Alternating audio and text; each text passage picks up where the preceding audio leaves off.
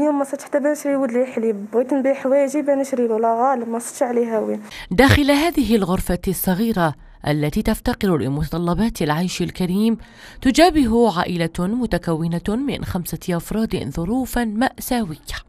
فوجبة إفطار العائلة خبز فقط وفي أيام كثيرة ينامون جياع. عندي خمس أفراد ما عندي تا مدخول.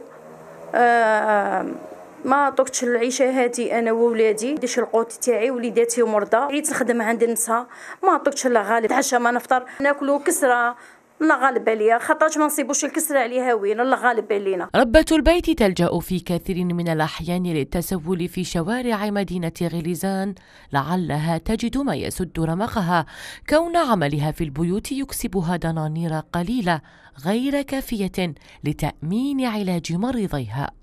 جوز ولد ولد بنتي وولدي أنا مريض وولدي هذا هذا اللي عنده خم... تسع سنين آه ميكروب آه في الدم. اللي راه يشوف فيا في هذا شهر رمضان يعاوني في وجه ربي في طوع الملائكة. أنا مريضة بالسكر عندي لا سيرين ولدي يدير بومبا في سيمانة مازال ما درتش البرا ما كتشوفوا فينا عاونونا.